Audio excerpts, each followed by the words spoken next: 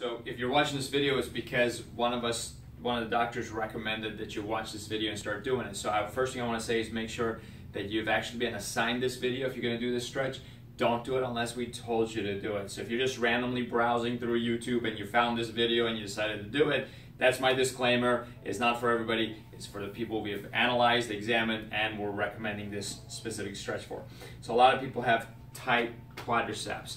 A lot of people, when they're stretching the quadricep, they'll just hold on to something for balance, grab their ankle like this, and pull up like this. It's not a bad way to stretch, but I've seen a lot of people swing it back like this to get a big stretch. I don't really like that just because it's not a stable position to be in. You could fall and you may be straining your low back.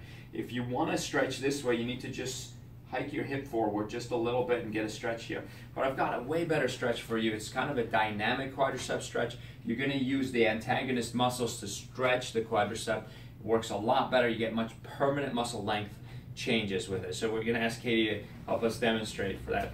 Katie's going to lie down on her side, and at home you're going to lie on your side and make sure you have a pillow under your head so that your head doesn't fall. You want your neck supported. You're to lie on your side, and with your bottom hand, you're to grab the bottom leg like Katie's doing.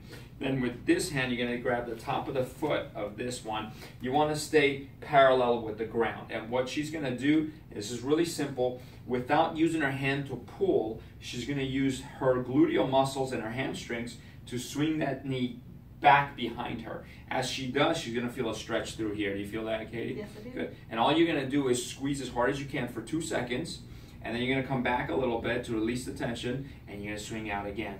So you're going to count one Mississippi, one Mississippi, back, again, two Mississippi, two Mississippi, back, again, three Mississippi, three Mississippi, up to 10. Now, some one of the mistakes that people make is when they bring this knee back, they'll grab here and the, this knee will swing up high. You don't want that to go towards the ground. You want it to stay parallel with the ground. And it's really, that's it. Support your neck when you're doing it. Hold on tight with both hands. Bottom hand holds the bottom leg, top hand holds the top leg. Use your muscles to swing the leg back. Don't pull with the hand. The hand just anchors your ankle. Enjoy. Let us know if you have questions.